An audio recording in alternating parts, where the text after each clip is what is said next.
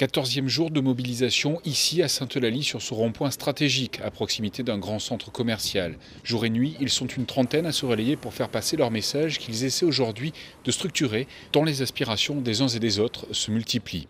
On s'est regroupé avec d'autres groupes de Gironde pour essayer de faire le travail le plus démocratique possible. On est en train de mettre, on va mettre en ligne un sondage citoyen pour répertorier aujourd'hui vraiment euh, toutes les doléances. Et ce, sondage en ligne euh, qui sera bientôt opérationnel, qu'on a mis sur giletsjaunesgironde.fr, notre but c'est vraiment d'arriver à reprendre toutes les doléances et à les trier. Et dans la rue, ben, on espère au moins un mouvement jaune euh, qui puisse montrer qu'on ben, n'est pas tout seul, il n'y a pas que nous, il y a du monde. Une initiative qui devrait leur permettre de désigner également un représentant en fin de semaine à travers cette consultation.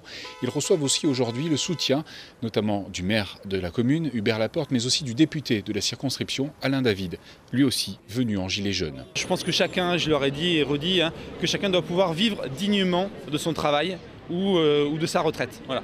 Et aujourd'hui, ils ne demandent pas l'aumône, vraiment. Enfin, voilà, il faut bien comprendre ça. Et ils ne vont pas se contenter de petites mesurettes ou de petites choses. Il faut que le gouvernement réponde dans les, dans les délais les plus brefs, parce que l'attente a assez duré. Les revendications sont connues, euh, les solutions, bien écoutez, franchement, il faut que le gouvernement fasse des efforts. D'une part, euh, comme ils ont fait pour certaines catégories de personnes. Il n'y a pas de raison d'avoir satisfait euh, les désirs euh, de certaines catégories, et en particulier de supprimer l'ISF, euh, la flat tax, euh, etc.